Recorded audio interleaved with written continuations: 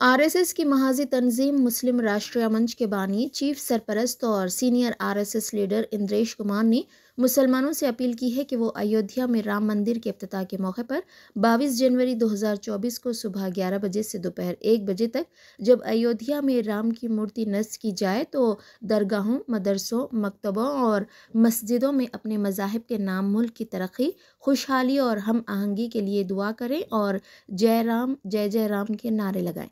उन्होंने शाम के वक्त इन मकाम पर चिराग जलाने की भी अपील की है, क्योंकि इनके मुताबिक मुसलमान भी मानते हैं कि राम हर ज़र्रे में है। राम सब में है।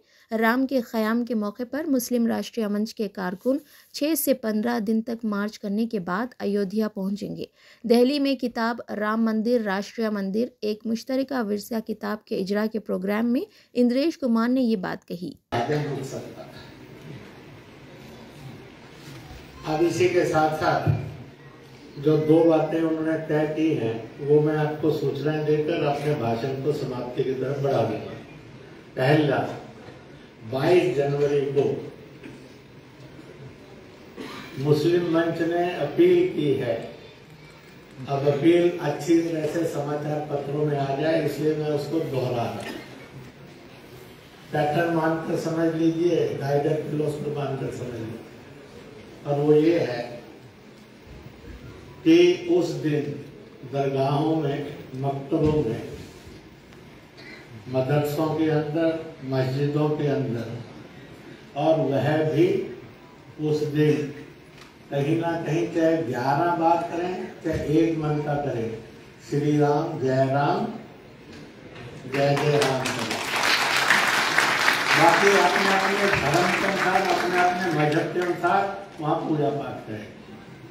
मैं गुरुद्वारों से, चर्चों से, गुम्फाओं से, आश्रमों से, जैन स्थानकों से, और जितने भी प्रकार के रिलीजन एंड सब रिलीजन हैं, सबसे अपील करता हूँ कि वह 22 तारीख को दोपहर 11 बजे से लेकर 2 बजे तक अपने अपने पूजा स्थल को, इबादत गाह को प्रेयर हॉल को ज़रूर और शोभा के साथ सजाएँ और वहाँ पर टेलीविज़न पर इस रस्म को देखें।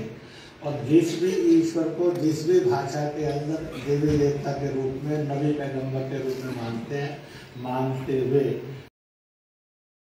भारत में और विश्व में शांति आए, सद्भाव आए, प्यार आए, भाईचारा आए तरक्की आए, इसके लिए प्रार्थना करेंगे, इबादत करेंगे।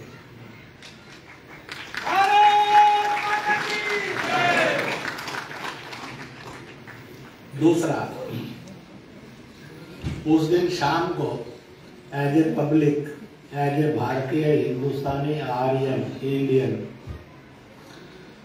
इस रूप में, हिंदू रूप में, अपने घरों के अंदर, आश्रमों के अंदर, मंदिरों में, पूजा स्थलों में, वह चिराग रोशन करेगी आज सुबह जब मैं यहाँ निकल रहा था, उत्तर प्रदेश के जो मकतब है, दरगाहें हैं, उसमें जो शाह मलंग समाज है, उनके प्रमुख लोग मुझे मिलने के लिए आए मैंने कहा, मैं वहीं आ रहा हूँ, वहीं मिलेंगे।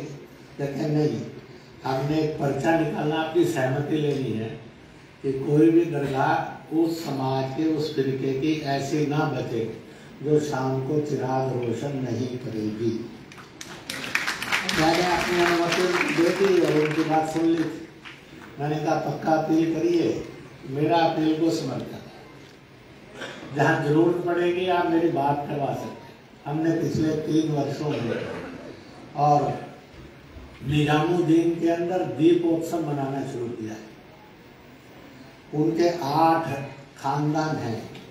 पहली बार में दो खानदान साथ आए थे और वो सम्मिलित सात सौ के लगभग भेज लाकर दीपोत्सव किया, पत्रकार वार्ता हुई।